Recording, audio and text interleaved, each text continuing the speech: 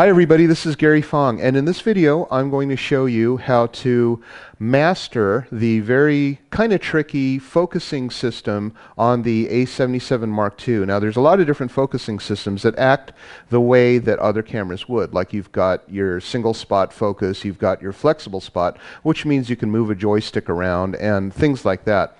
The thing that makes this one stand apart from all of the other cameras is number one, it has face recognition. And number two, it actually has registered face recognition where you can take different faces and put them in uh, hierarchies. So certain person has uh, more uh, it, will focus on person number one before it focuses on number two, and there's up to eight of those. So that's really cool to have that.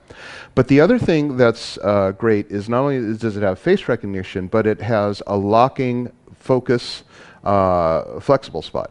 Okay, so it's called Lock On Autofocus Expand Flexible Spot. That's quite a mouthful.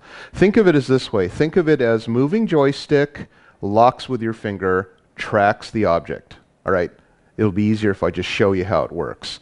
So here's what we have right now. Let's go ahead and look at the screen, and I have that, that on. Oh, by the way, before I, I uh, go too much into that, you need to know that this will only work on AFC mode.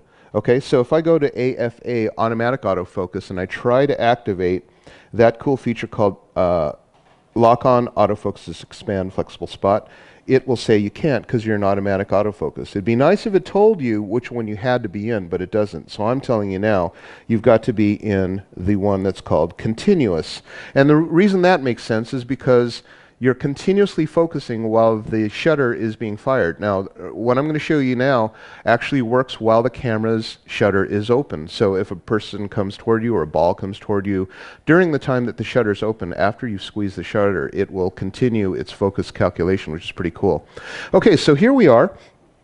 And uh, I'll just go ahead and turn this on. You see right now it's got face recognition, okay? So you see those little squares that go across the three faces. I've got pictures in the background of my kids, and then I have my assistant, Sydney, standing in front, and she's not in focus because you see that little black dot right there?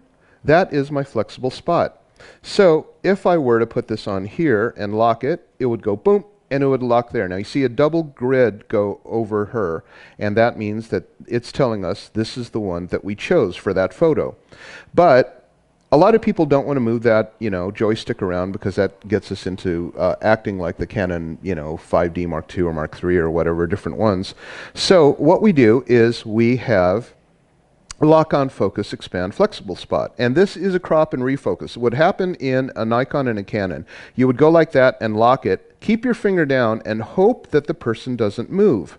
But it will keep that focus plane at that moment. So if you're 47 inches away and you lock it on my eyeballs you hope that i don't move back and forth on, uh, I mean, if it's on continuous, and this is the issue with those optical systems, if I'm on continuous uh, focus, what will happen is if I move back and forth, it's going to auto pick the subject it thinks you want because it, does, it really doesn't know. And it can't really tell you in an optical system. This one can tell you because you've literally got a heads up display for everything that you're shooting.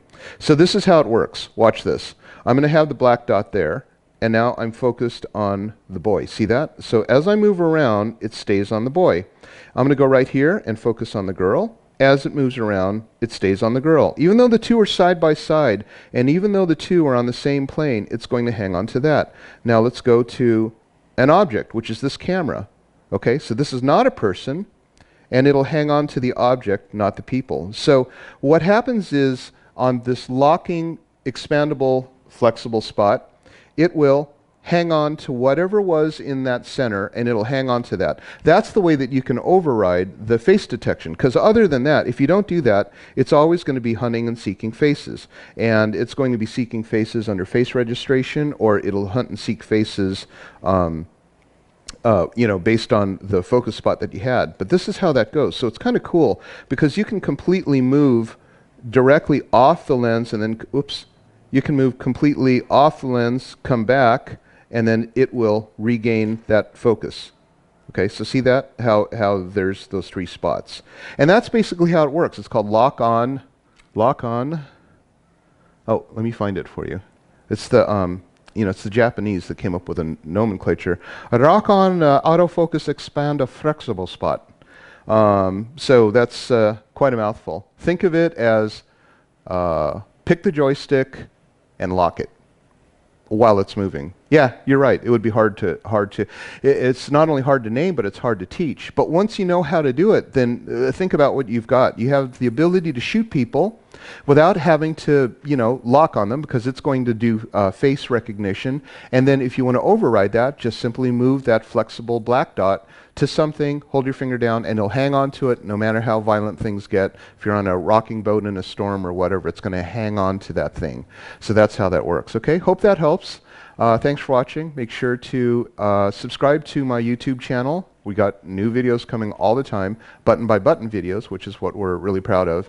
And then also, if you want to learn in really good detail how to work this camera, the A77 Mark II, I've got uh, multiple hour, very, very detailed button by button using live shoots uh, instructional course on how to unleash the power of the Sony A77 Mark II. Thanks for watching.